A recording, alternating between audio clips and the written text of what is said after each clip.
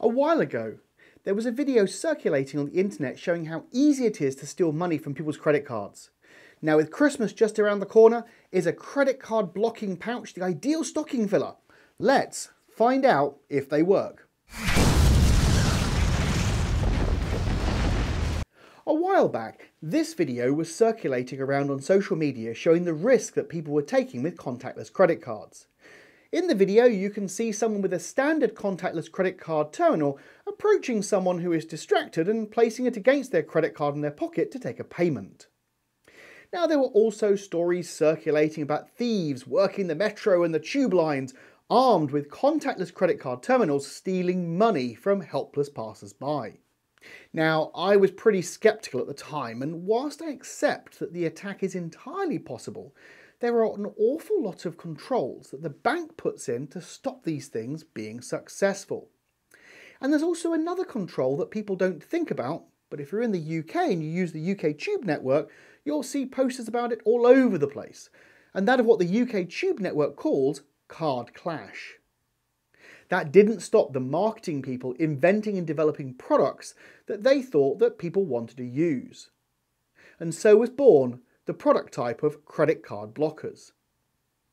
Now, I was inspired to create this video because I saw one in a local newsagent's and I, um, I kind of thought I might want to try those. I was interested in buying one until I saw that each credit card blocker was £12, which for my UK viewers is about $16. Quite a lot of money to pay for something that may be snake oil. Now, before we get on to testing whether these devices work, let's have a quick thought about the controls that are in place and why I think this attack isn't entirely viable. Now, I have no doubts that someone may be able to comment below with a news story showing how a criminal has used this attack, but I don't think it's all that common. For one, the credit card companies have put in controls such that the terminals have to be linked to a bank account, and if they start to notice large amounts of fraud via contactless payments, the bank will swiftly close the scammer's account. Let's be honest, there are some very intelligent people working in the banking industry, and I suspect they thought about this attack before they launched contactless payments.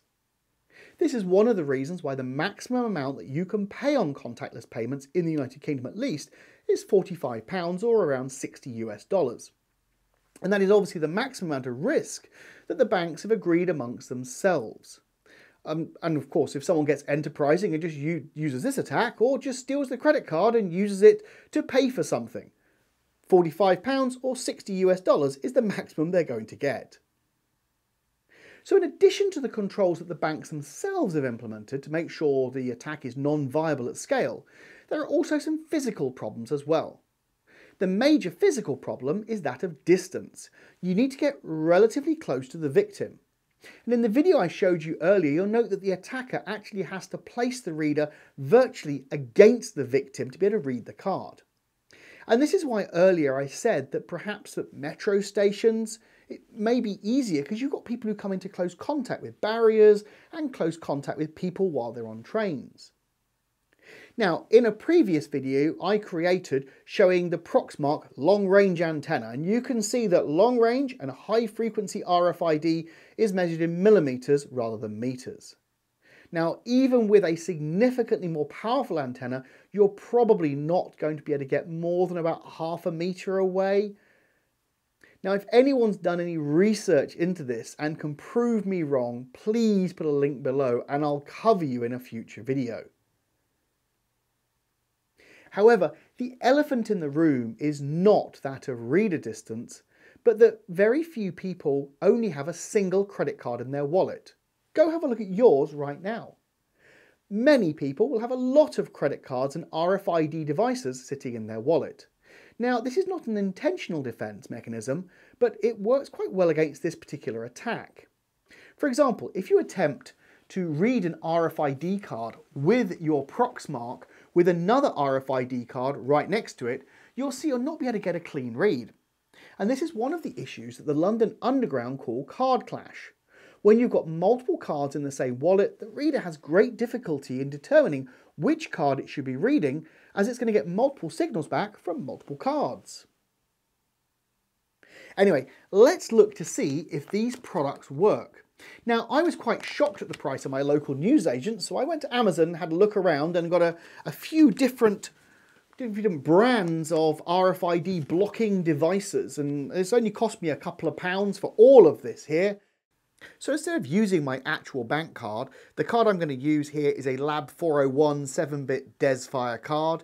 Uh, these are actually very useful little cards, although they don't emulate the full DesFire piece, but they emulate the UID, and sometimes that's all you need. Anyway, I've got this. As I said before, I've got a couple of I've got pouches, I've got blocking cards, I've got blocking cards, I've also got a hotel card and a Nintendo card, but I'm going to use later. Here's my Proxmark, and I'm going to do a quick HF search just to show that you can see this particular card. If I hold it just above, boom, there we are we see a Desfire card. So let's test out these cards. So first of all, we're going to try a Blackout by Ankylio, and all I'm going to do is put it on top of the card. So Blackout card, Desfire card underneath, and we'll just run a quick HF search, and as you can see, it's become a no known cards found. Um, I think I try it the other way around to see if that works, I don't know if that makes any real difference. I think it just needs to be somewhere nearby it. Yeah, and you get card clash and it doesn't want to work. These RFID NFC blocking cards by, by Bereft Gears, I think are going to work in exactly the same way. And yes, they do work in exactly the same way. So let's try one of these pouches. I mean, these actually, these were quite good value. I don't know what these were, about five or six quid or something. And I get 20 pouches. And look, the card slips inside just like that. Let's just see what we get. Exactly. I mean, it doesn't matter really where I hold the card, this pouch, this little plastic pouchy thing, seems to be stopping it. But something else we can do as well, um, if we grab a uh, another card, this is just another, um, another, it's just a hotel key card, and put them next to each other and do a search, again, we get this multiple tags detected and no tags found. Um, so just demonstrating actually card clash may be the uh, uh, maybe your best defense mechanism. If I try Nintendo card, there we are, again, multiple tags detected. But if we take this card, and this is my wallet here, and I place this card inside my wallet. Now, there's a lot of RFID cards inside my wallet, and I put my wallet, that card's just gone inside there, and I put that on top and try and do a read, Again, no known supported cards. Now this is not an RFID blocking wallet. This is just a bog standard leather wallet. So I just want to really demonstrate to you that yes, do these things work? They appear to, but also my wallet works just as well. So as you can see, yes, they do work. But so does having two cards together in your wallet. And really, how prevalent is this fraud? Is it worth using one of these devices? Well, only you can decide. Now, do they make the ideal InfoSec stocking filler? And I do not think so. I would think a better idea might be to provide all of your elderly relatives with a little book and a pen so they can write down their passwords and therefore ensure that every single password for every single website is unique or teach them how to use a password manager. That's probably going to have a far greater impact to their lives than a credit card blocking wallet. So that's it for this video. Please let me know what you think in the comments below. Did I get it right? Have you conducted research into this yourself? What do you think would make a good information security present for your friends and relatives? Until next time, stay safe, keep being skeptical, and have fun with Radio Frequency ID.